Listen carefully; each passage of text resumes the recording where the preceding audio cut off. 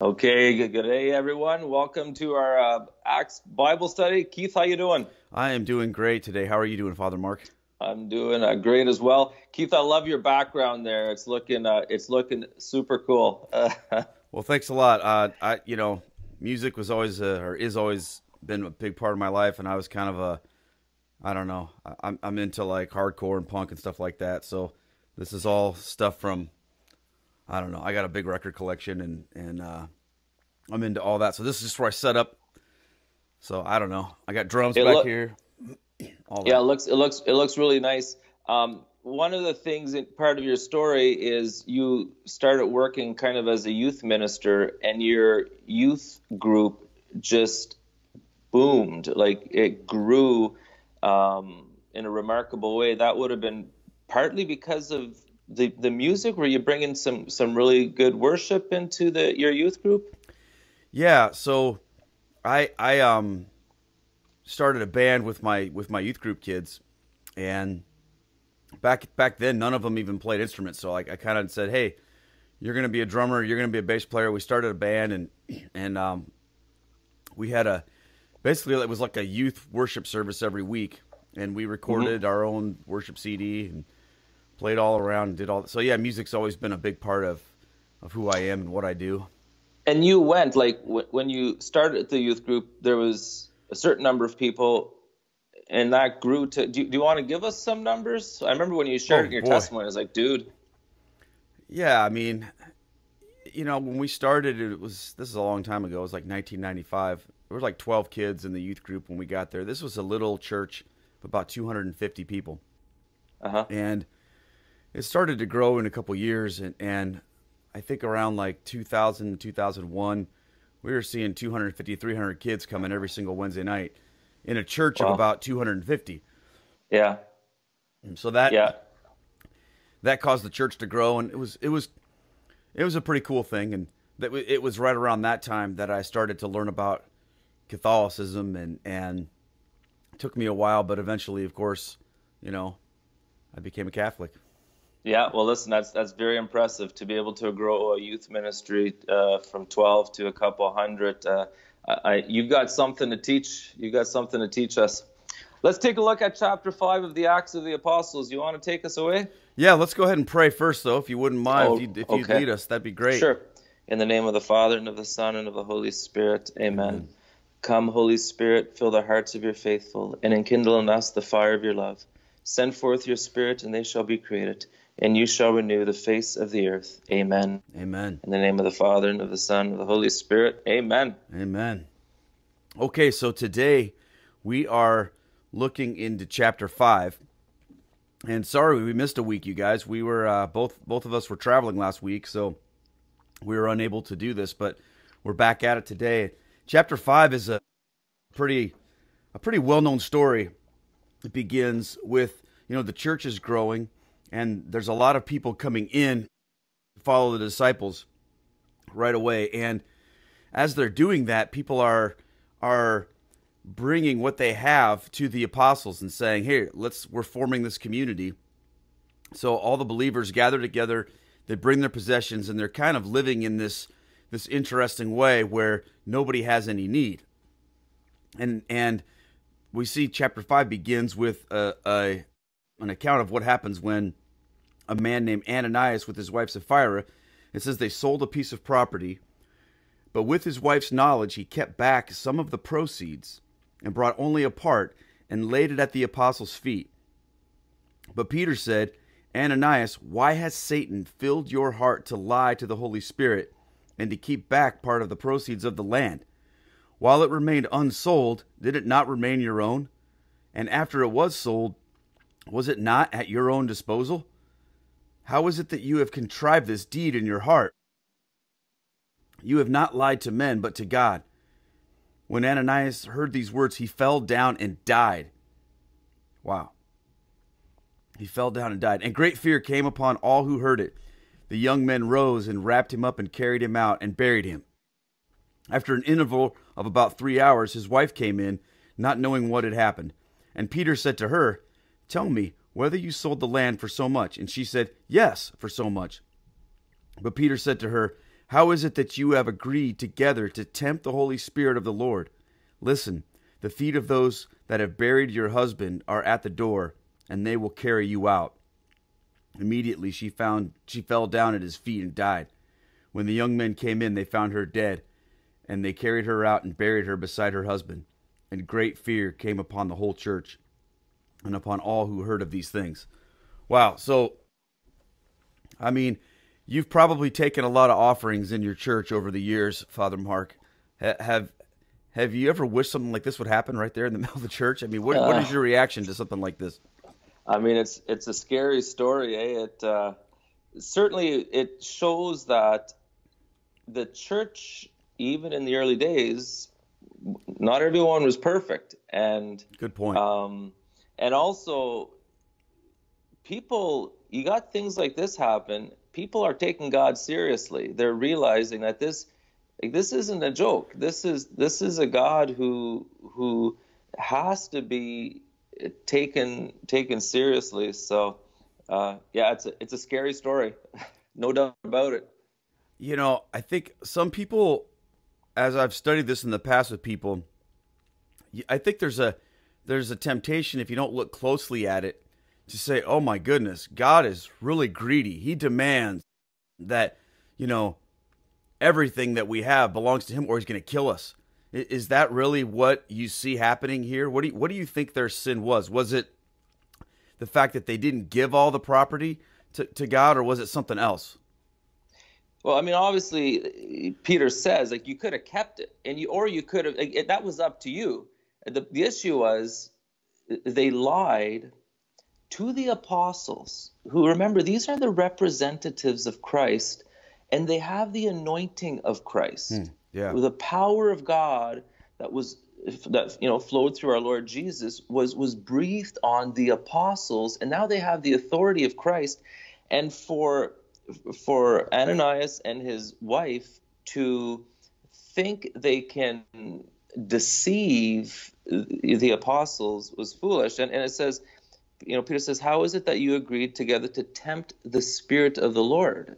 And so, um, yeah, so it's it's not an issue of having to give everything you have to God. It's it, you know, and you know there is a gravity uh, to sinning against the, Spirit. Like when you know in your heart that the Spirit of God is is asking you to do something, and you deny that, thinking that oh, I can you know get away with this. It's just no, and God is God. It is. It's still the all holy God um, of the Old Testament. God. God is unchanging. Obviously, He's a God of great mercy and love, but uh, still to be taken very seriously.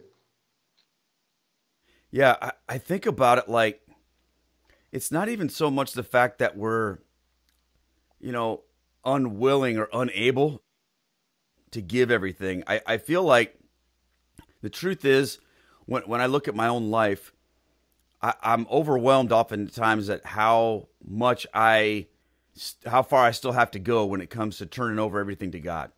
You know, mm-hmm. I have these moments where I feel, okay, God, I'm surrendering myself to you. I'm giving this over, and I and I I can commit in my mind and my heart to say, okay, I'm going to do this. I'm going to pray more. I'm going to give more. I'm going to serve more. But then I don't always I don't always live up to that, you know. If I'm, mm-hmm, if, mm-hmm. and it's it's convicting, right? Yeah.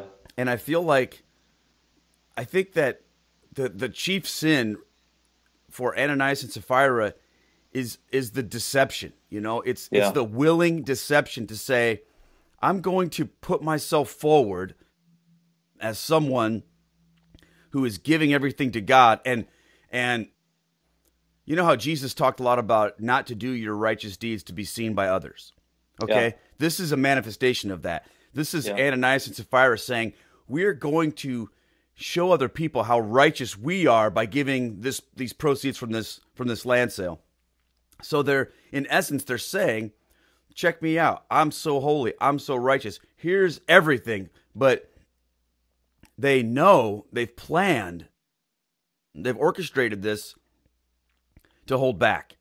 And, and I think that's what Peter, why Peter says to them, Why have you lied to the Holy Spirit and to us? You know, yeah. I think that Jesus accepts us for right where we are, you know, in our in our in our even in our our state of of unwillingness to give him everything, he doesn't turn us away and say, "Nope, come back later." He says, "I'll take you the way you are, but I'm going to push you and challenge you and call you to a higher level of holiness."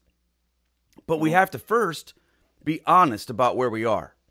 Mm-hmm, if, if mm-hmm. we're not real about where we are in the first place, and we're not humble, and we're not, um, you know, aware of our sin, as the Bible says, you know, if, if mm-hmm. we say we have no sin, we deceive ourselves. Yeah. You know, but when we admit that we have, to, when we confess our sin, He's faithful and just, and He'll forgive us to cleanse us from all unrighteousness. But first, we have to say, "Man, I am a wretch. I'm a I'm a greedy, selfish, prideful person. Jesus, take my heart with all of its issues. I, I help me turn from this sin and to repent and follow you." But mm-hmm. when we say, um, "I'm gonna show everybody that I'm great. I'm going to put forth this false perception of myself. God sees right through that, doesn't he? Yeah. You know? They say they say too it might have been, you know, kind of like a, a school teacher when when she starts teaching.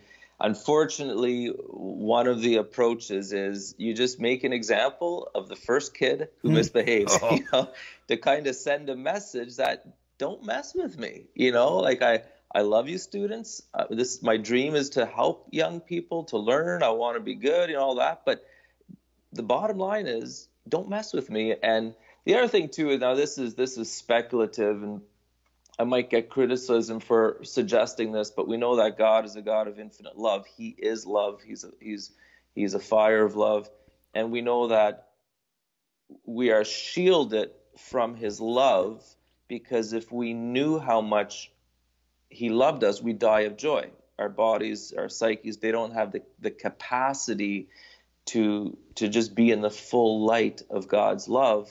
Um, in the next life, with our glorified bodies, we'll have a capacity to just take in the full radiance of the love of God. And I like to think that the Lord, again, who is all mercy, He took their lives by just giving them a little glimpse of how much He loves them. So my theory is they died of love.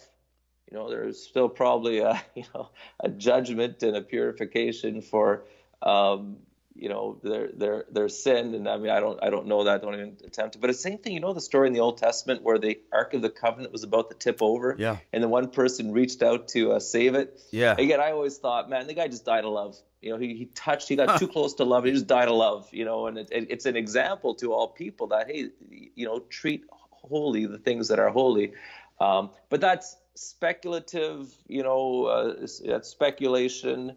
Um, but it, again, it is true. God is God is love, and even they say hell is the mercy in hell is that God actually does hide himself because his love is is more powerful than like the the torch of a welder and it would be a greater torture for the the damned souls in purgatory to be in the full radiance of God. So God you mean, His mercy. You mean hell, not purgatory, right?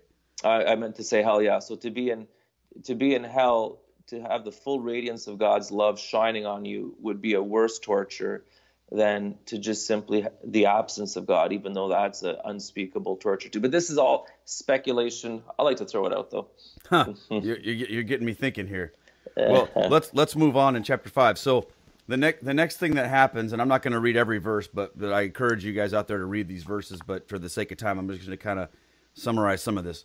So the next thing that happens is the apostles are are seeing these amazing miracles happen. They're continuing to heal their their their uh, the people and and do ministry. One thing that I think is interesting in chapter 5 or verse 15 is it says that they even carried the sick into the streets and laid on them beds and pallets that as Peter came by at at least his shadow might fall on some of them. So there's like this powerful manifestation of the Holy Spirit coming through even the shadow of Peter if it falls on them, you know. And as this happens, you know, the the council, the Jews, the the high priest, the Sanhedrin, you know, they're, they're like, we can't have this. Now remember, these are the people that killed Jesus. These are the people that hauled Peter and, in, in before them it said stop preaching in the name of jesus you know knock this off. Mm-hmm. And he basically said, you know, that Peter and and uh, John said, we we're not going to listen to you. We got to do what God says. So so t- they take them in verse 17. The high priest rose up, and all who were with him, that is the party of the Sadducees, filled with jealousy, they arrested the apostles and put them in the common prison. But at night, an angel of the Lord opened the prison doors and brought them out and said, Go and stand in the temple and speak to the people all the words of this life. And when they heard this, they entered the temple at daybreak and taught. You can't stop God, and you can't stop God's yeah. church, you know? And it makes me think yeah. about this, you know? Everything that, that we wrestle with today in the church and, and, and in our own lives, the thing that we have to always remember is, is God and his church will not be stopped. Mm-hmm, mm-hmm. Yeah, and it's important even in our own lives. You know, um, we sometimes have it seems roadblocks put in front of us or doors uh, shut in our faces. But if we're if we're men of faith, we know that when Jesus says yes, nobody can say no. Like you're saying, mm. you can't stop God. And I think all of us in our lives, we've had times where people have tried to shut us down, and sometimes we'll try to fight that. But sometimes it's better to say, "Hey, you know, I'll I'll I'll just wait and see what God does because I know if He wants this to happen, He'll see to it that it happens." And again, sometimes when someone shuts a door in our face, it's because the Lord is using them to put us on another path or to you know for us to take another direction so it's always dangerous to overtake matters into our own hands. I mean, it's one of those things sometimes in life you do. I mean, you do need to take matters in your own hands, but it's, it's just that delicate balance. I mean, you know, for me as a priest, there's times where, again, uh, because I'm under obedience, you know, you're you're you're told to do something when you think that what you're doing is just so good and so important, and it's it's important to to just remember that you're a man of faith and that if the Lord wants something to happen, He'll make it happen. And so let's not get too anxious or too worried or, or too up in arms about this. Let's let's just allow the Lord to, to work his I don't want to say work his magic because he's you know he's not a god of magic, but you know to, to, to do his thing. And we see this, you know, getting them out of the uh, angel opens the prison doors and they're back at it. You know that that just really spoke to me right now when you were saying that. Um, sometimes I feel like I know in my own life I've had moments when I've really, really wanted something to happen, mm-hmm. and I've prayed and I've just begged God and said, "This is what I want, Lord. This is what I want." And sometimes it's happened, but a lot of times it hasn't, and there can be a frustration that sometimes, especially when it might even seem like it's a godly and good thing. When you're mm-hmm. trying to do something for the kingdom or you're trying to do something for your faith and it doesn't work out, a door gets shut or something comes against you and you and you get frustrated, you say, God, I don't understand. But what we have to remember is and, and Acts five is a, is a good example of this, is that when God is behind something, you can't stop it. So one of the things that happens is while you know these these Sadducees are and the Sanhedrin, they're, they're and the Pharisees, they're trying to stop these apostles by putting them in jail, but the angel lets them out. You know, God's God's people cannot be stopped when God is is behind this, and so they go out and they preach, but then people are saying, "What are you doing?" And and in verse twenty seven, they brought them out, they set them before the council. This is the apostles, and the high priest questioned them saying, We strictly charge you, I'm in verse 20, 28, we strictly charged you not to teach in this name, yet here you have filled Jerusalem with your teaching, and you intend to bring this man's blood upon us. But Peter and the apostles answered, I love their courage here. Mm-hmm. We must obey God rather than men. The God of our fathers raised Jesus, whom you killed by hanging him on a tree. God exalted him at, at his right hand as leader and savior to give repentance to Israel and forgiveness of sins. And we are witnesses to these things, and so is the Holy Spirit, whom God has given to those who obey him. Now, it says, when they heard this, they were enraged and wanted to kill him. But check this out. but a Pharisee in the council named Gamaliel, a teacher of the law, held in honor by all the people. I think this man was the Apostle Paul's teacher, we, we learned later. Mm-hmm. Stood up and ordered the men to be put outside for a while. And he said to them, Men of Israel, take care what you do with these men. So he's talking to the to the Sanhedrin. He says, Be careful what you do with these apostles. For before these days, and then he he says, Theudas arose claiming to be somebody, and a number of men, about four hundred, joined him. But he was slain, and all who followed him were dispersed and came to nothing. After him, Judas the Galilean arose in the days of the census and drew away some of the people after him. He also perished, and all who followed him were scattered. So, in the present case, I tell you, keep away from these men and let them alone.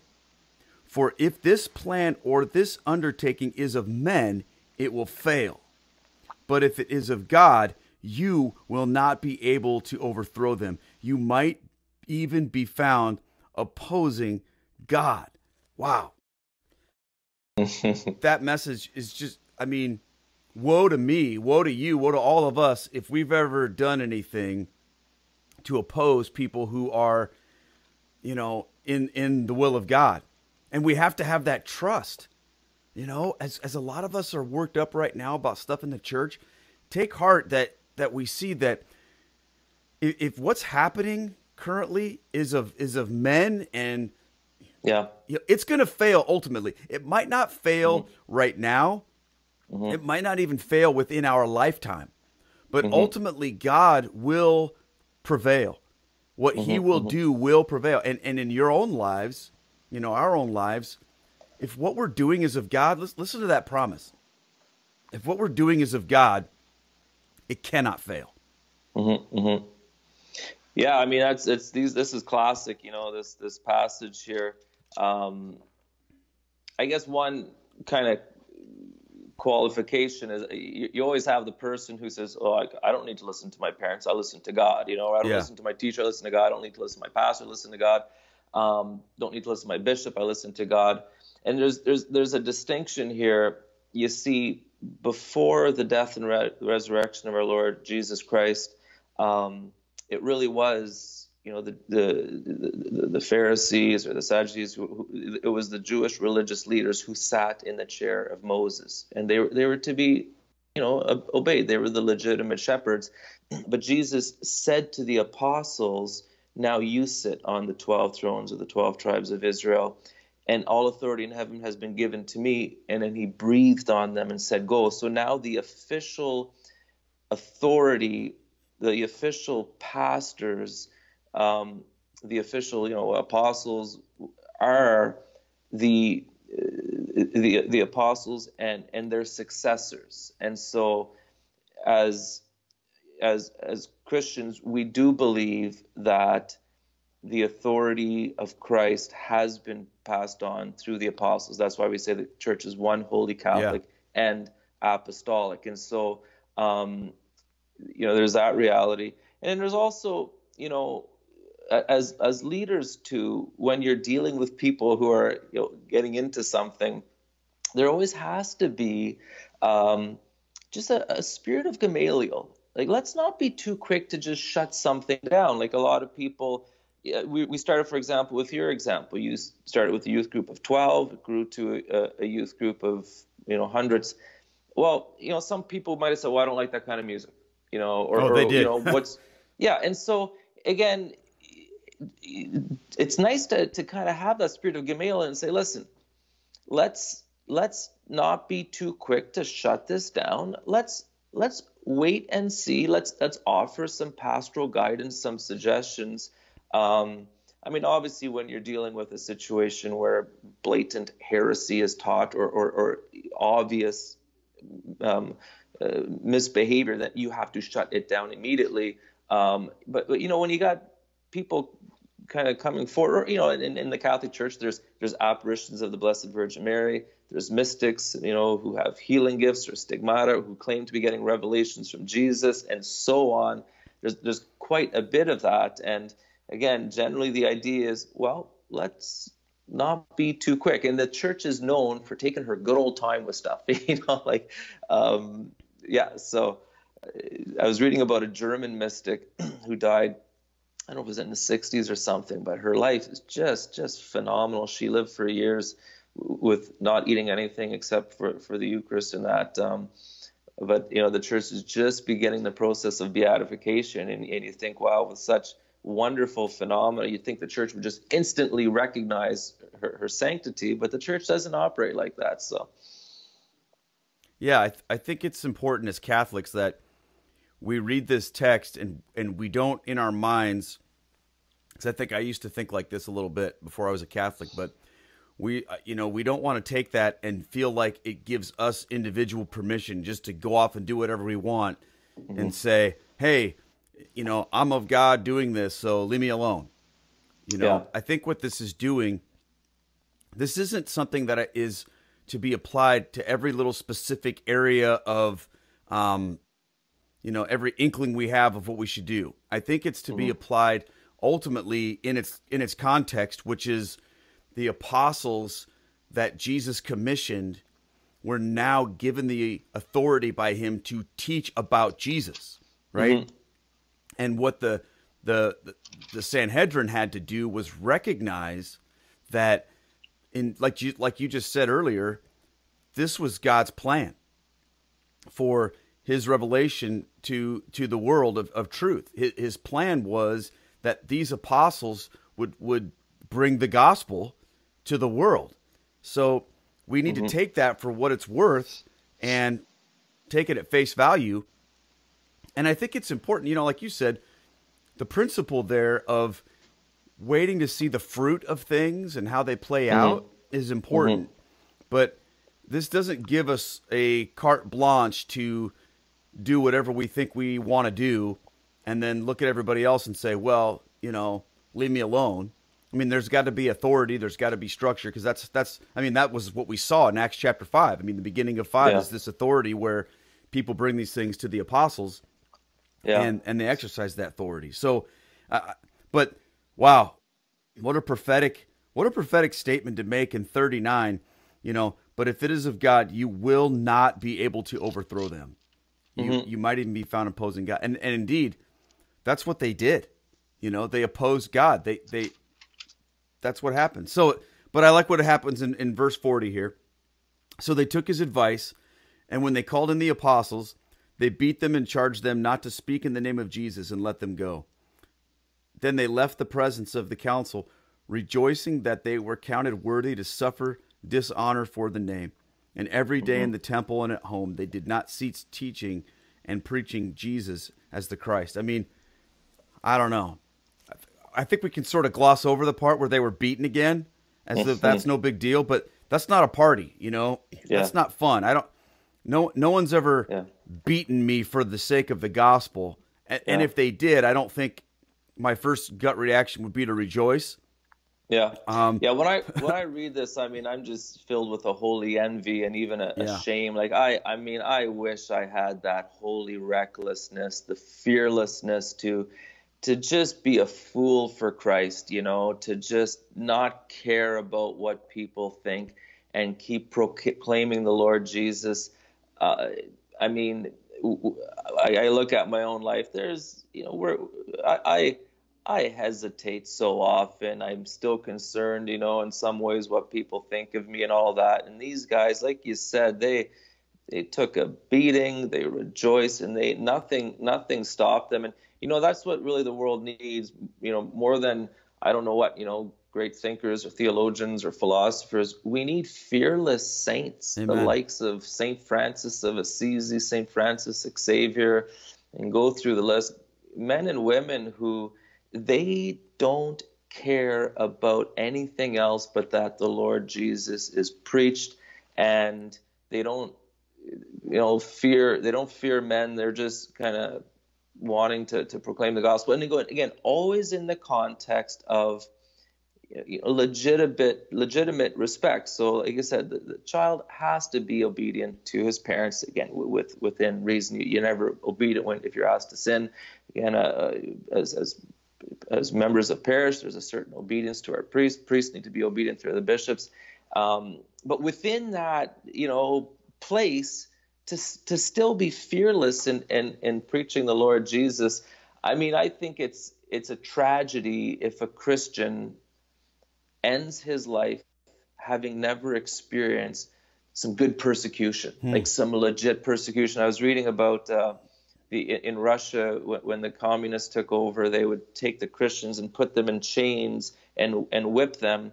And so a lot of the Christians had the had the marks on their wrists and on their backs, and that was, I mean, that was bragging rights. Like the, wow. the Christians who had that, they they had respect, you know, and, and guys who had those those scars on their bodies, they you know they they wore them with with great pride, you know, like saying and and I mean if if we if if we've been a Christian for many years and we don't have some good persecution stories or just hardship stories or you know losing friends being laughed at being you know shunned like all of all of that shunned um, to me we we might have to ask ourselves if we're doing something wrong you know so hmm. yeah very inspiring that's a that's a lot of food for thought you know um, wow i need to i need to think more about that because i can get bent out of shape if you know somebody says something negative about me or or makes a mean comment about something or or whatever. But the fact is, it's nothing compared to to what these and others go through and have gone through. And and you know Jesus said blessed are you when you're persecuted for the sake of the mm-hmm. gospel. That's that's a powerful thing to think about. Well that's that's really how chapter 5 wraps up. And you know, as we move into chapter six, we're going to see a little bit more as things pick up with the persecution, and and pretty soon we, you know, we move past the the beatings to actual, uh, you know, we're gonna we're gonna see our first martyr, um, in in a, in a couple weeks, and you know, I encourage you guys watching this to follow follow along, read ahead, be studying, take take some time and, and look through Acts chapter six, and and and pray as you do, and and ask the Lord to reveal to your heart how how you can devote more of yourself to him and, and just be real about where you are in your faith and and and then keep that close to your heart that whatever you're doing if it's if it's wholly offered to the lord he, he's going to provide for you. He's going to take care of you. He's going to give you opportunities to serve. So uh, father mark i want to thank you for waking up early this morning yeah. and uh, going through this with us and and my pleasure. um, would, would you be willing to, to close us and give us a final blessing today in the name of the Father, and the Son, and of the Holy Spirit, amen. Heavenly Father, we do ask you to fill our hearts with the fire of the Holy Spirit so that we too can be fearless proclaimers of your Son, our Lord Jesus Christ.